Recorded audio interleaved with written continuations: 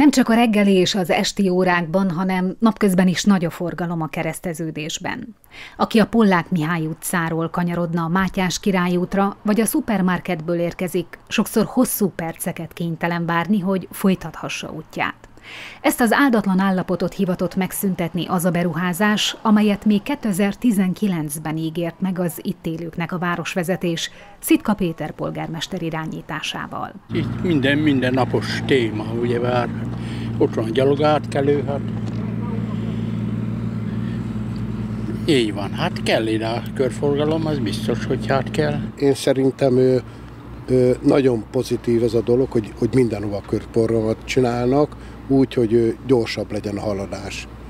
Mert haladni kell a korral, gondolom én, de hát nem nagyon néha, nehéz innen kimenni néha. Egyszerűen tényleg perceket kell várni, még aki tud menni az ember autóval. Úgyhogy szükséges.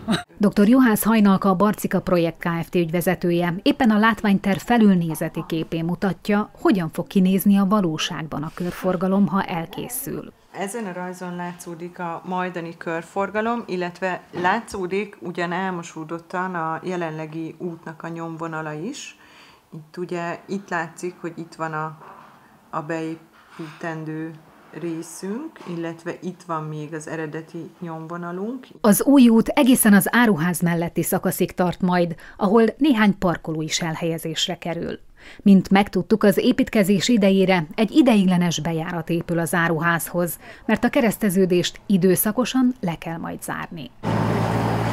A munkagépek a héten már a helyszínen dolgoztak, miután a március 1 munkaterület átadást követően sikeresen lezárultak az adminisztratív feladatok, amit a kivitelező egyeztetett a szakhatóságokkal és a szakfelügyeletekkel közműveket érintő kiváltások, illetve áthelyezésekre kerül sor. Ez alatt az időszak alatt forgalomkorlátozásra nem kell számítani, de mindenkinek fontos, hogy körültekintően közlekedjen az érintett útszakaszon.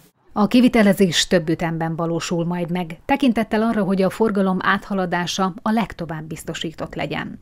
Időszakosan forgalomkorlátozásokra vagy teljes útzárra is számíthatnak az autósok. A körforgalom megépítésének határideje 2023. novembere.